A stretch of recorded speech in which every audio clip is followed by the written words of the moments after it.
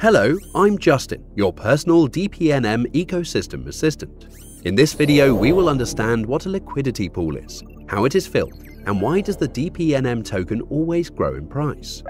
Let's start with one basic rule, how the market price of a coin is formed. Imagine there is a shop that sells coins. There are 100 coins for sale and each coin is worth $1. Bob comes to the shop. Bob has $10 and wants to buy 10 coins. The seller agrees to sell Bob $10 worth of coins, but only upon the fee for the sale of 20%. Bob agrees and pays the $10. Deducting the 20% fee, Bob gets 8 coins, and the shop removes 2 coins from the sale. This is how the deflationary model starts to work, when there are fewer and fewer coins, but more and more coins are secured. As we see from this example, in the beginning the shop had 100 coins with value of $100 but due to fees for purchasing coins, some of them have been removed from circulation, and now there are only 98 coins backed with the same $100. So the price of one coin is $1.02. One simple operation has increased the price of one coin by 2%. But at the same time, this shop is ready to buy those coins back from Bob at any time, but at a price 2% higher than Bob bought them. In our case, the role of such a shop is performed by a smart contract created in the blockchain network. Its task is to sell and buy coins from those who want them. It is not controlled by anyone, cannot refuse to buy or sell, and is always ready to securely store the collateral for each coin. Coin collateral is called a liquidity pool. It is like a safe that gives out collateral only when users sell tokens and accumulates it when users buy tokens. This is how the price of a DPNM token grows. Each time a DPNM token is sold, it is also paid a fee, which increases the price. The fees in the end stay in the collateral pool in BUSD.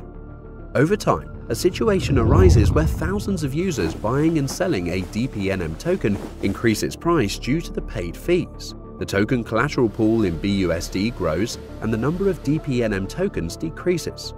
But that's not all. There are constant transactions in the ecosystem that increase the DPNM token collateral pool without even burning it. For example, every time a GWT token that users use to expand their marketing opportunities is transferred, a fee payment is made, and from each fee payment, 1 BUSD goes into the DPNM token liquidity pool.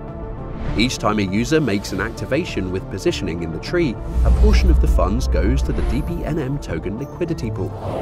Part of the income from partner companies that cooperate with the project is also sent to the liquidity pool. These are cryptocurrency exchanges, cryptocurrency wallets, and this list is constantly expanding. Up to 10 sources feeding the DPNM token liquidity pool will increase the price of the token, even if no one buys or sells it. Token price growth is directly dependent on the number of users and their activity. Imagine how the collateral pool could grow when there are 1,000, 10,000, or 100,000 users in the ecosystem.